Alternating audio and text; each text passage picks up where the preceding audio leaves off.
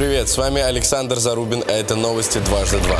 Каждый ваш выбор влияет на будущее. Amazon экранизирует Life is Strange. Если вдруг забыли, это эпизодическая игра, в которой ваши решения могут изменить исход истории и судьбы персонажей. Самой популярной все еще остается первая часть серии, где Макс и ее подруга Хлоя расследуют загадочное исчезновение девушки Рэйчел Эмбер. Скорее всего, в экранизации нас ждет подростковая инди-драма. Кажется, возвращение легендарного мультсериала будет неполным.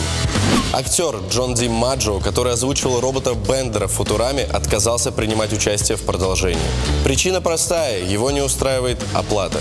Для Ди Маджо это проявление самоуважения и критика индустрии, а не попытка оскорбить фанатов. Он также сказал, что больше оплаты заслуживает весь каст.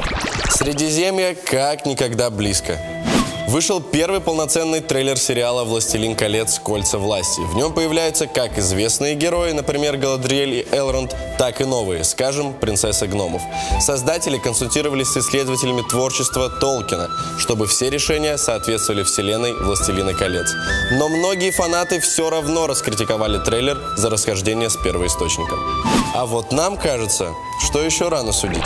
Ну а с вами был Александр Зарубин. Смотрите «Дважды два», читайте «Дважды два медиа».